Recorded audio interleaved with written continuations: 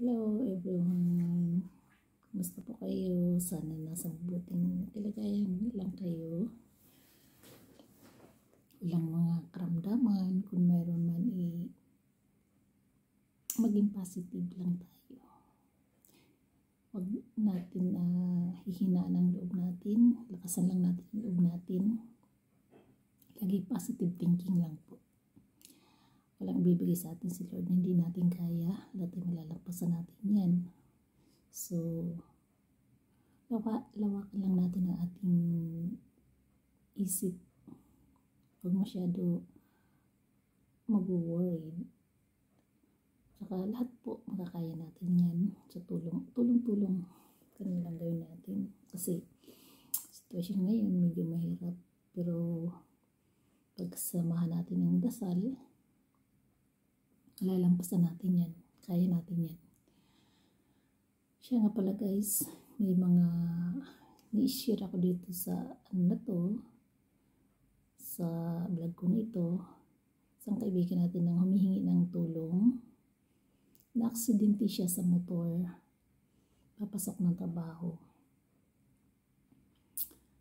Tapos, yung nanay kasi nila patay na one year ago na Noong August, nagpanya na yung mother niya.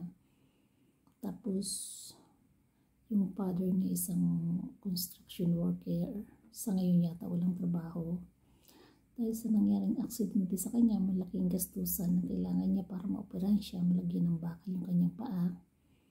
Humihingi siya ng tulong. Ah, balang kumikilos ngayon yung tita niya kapatid ng tatay niya, naglilikom ng pera para ma-opera siya. So, sa gusto, mag-donate, may contact number po naman dyan. Tsaka yung pangalan ng tao na si Miss Minerva. Ibigay ko sa inyo yung name. Tapos may contact number siyang iiwan magbaba, ano nyo po dyan sa baba, tingnan nyo po dyan sa baba, yung contact number ng tao, pwede nyo siya i- i-connect. Tapos, doon sa mga interested, i-PM nyo sa, mag-PM kayo sa akin, tapos eh, may number naman doon ng tao. PM nyo lang po ako. O kaya direct na nyo na kayang i-message.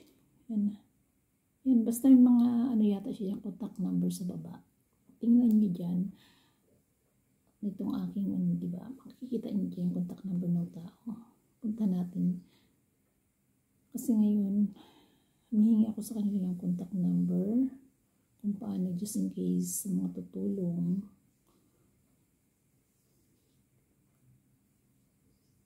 Basta tingnan niyo lang po sa baba niya na aking vlog meron siyang ano, may lalagay ako mga contact number at pangalan ng tao. Ang pangalan ng tao, yung tita niya is si Minerva Upalsa. Ito yung tita niya, siyang kumikilos na maghanap ng makalikom, lumapit ni sila sa mga uh, tawag yun, uh, sa mga politiko para makalikom, makalikom ng pera para sa pagpapapera ng pamangkin niya. Ito na pala yung ano niya. Tingnan natin yung, kasi dito sa akin, sinend na sa akin yung ano. Kaya sinend sa akin yung mga, yung galing sa doktor na kailangan. Relative ko siya, pero medyo malayong kamag-anak. Ano na, itong accident is 25 years old male. Ayan, may puncture close completed displaced and middle. Itansin sa gahuan. Middle third femur left. Ito itong kanyang ano. Advice for open reduction extremi uh, extramedullary nail femur left. Yan. Kailangan niya talaga mapirahan issue upon request for the interested party. So kailangan niya mapira ito may ano na makikita niyo po dyan yung aking ano ang aking isisin ko po kasi ito galing sa Dr. Orthopix Medical Supply yan more interlocking, inclusive of instrumentation. Ayan. Nangangailangan sila ng 144,900 na halaga para dun sa operasyon. So, sa isang ordinaryong construction worker, tapos, hindi naman kasi ang trabaho ay tuloy-tuloy. Minsan lalo sa ngayon sa lockdown, kung hindi siguro na lockdown tuloy-tuloy, talagang hindi nila kakayanin yung operasyon na 144,000 na pambili ng isang ng isang yung parang bakal yata nilalagay sa kanyang binti. Kaya hindi until now, hindi pa siya na-operahan. Nag-aantay pa lang sila ng budget na makalikom ng ganong halaga. One set isang set siya eh, para sa operasyon niya because naka, nasa yung ano niya isa Bicol Regional Training and Teaching Hospital Dr. Palmon Badir Badir surgeon si Dr. Palmon Badir parang ano siya parang ano tawag yan parang India siya yung ano yung attendee attendee attendee physician surgeon So, yun ang ano na hinihiling nila. Humingi sila ng ganun. Kaya ang dami nilang nilapitan kasi nga alam niyo na mahirap sa buhay sa buhay nga. Hirap sa Pilipinas. Hirap sa buhay dahil sa sitwasyon ng pandemic nga. So, nahirapan sila makakompute nitong halagang 144,900. So, yan. Baka may kunting ano kayo,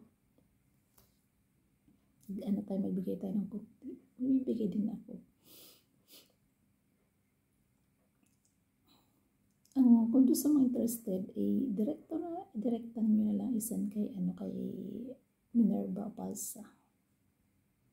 Nandiyan, basta may contact number siya dyan.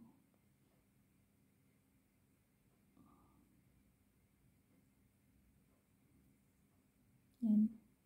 Kasi ito yung ano yung medical certificate niya. Si Leo G. Falsa. Ang diagnosis is fracture close complete display middle third femur left left yan na kailangan advice for open reduction intramedullary nail femur left yan, kailangan talaga siyang maoperahan. Ngayon, hindi siya, parang nakalab, pinalabas siya kasi ng hospital. Kasi mahal na sa private ito. Pag nakatambay ka sa hospital, alam niyo naman, di ba? Na tumataas yung bill mo pag naka-stay ka dyan. Ngayon, ang ginawa, mabas. Samantala, nag-aantay ng pera. Yan, nabali yung buto niya talaga. Kailangan talaga ng bakal. Nabali siya eh. Yung nasa extreme, makikita niyo sa extreme niya, yun ang kailangan niya.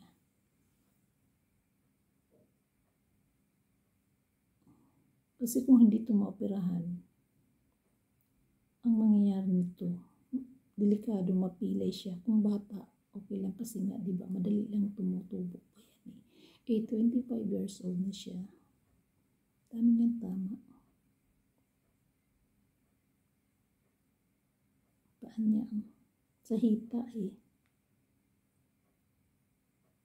Hita nangyari sa akin. Buti yung kabila okay lang. Sa hita sa ano tawag yan bago mag ano ng knee. Doon ang ano niya. Yan. Hindi siya makalakad kung hindi yan malalagyan ng bakal. Ano nangyari sa kanya? Bukod dyan sa 144,000, meron pa yan ang tawag yan sa mga gamot, di ba? Sa doktor. So, yan ang gagawin natin, guys. Tayo, kasi wala ang puti kung, di ba, may, ano na ako, makita na ako sa, ano, di ba, sa YouTube ko. Pwede tayo, um, donation. Saka marami akong dinadaan na pagsubok din. Crisis ko, may mga crisis din ako ngayon sa financial. So, siguro makakaabot tayo kahit kunti. Kahit pa paano. Tapos, eh, yan, share-share na lang tayo. Sa gusto lang ha, ayoko mag-push. Kasi masama naman tayo mag-push tayo. Hindi, hindi ako mag-push sa tao. So, interested lang po. Ano gawa ko? So, ano na nangyari? So, guys, salamat po. I-upload ko na lang po ito. Tapos, sa mga interested, mag-iwan tayo. Mag-iwan ako niyang telephone number, tsaka kung saan dapat isend. Makikita niyo sa baba. Tingin na lang po dyan sa baba ng ano nito, vlog nito. Nandiyan po yung contact number, tsaka information kung saan dapat natin i-send yung maliit na halaga.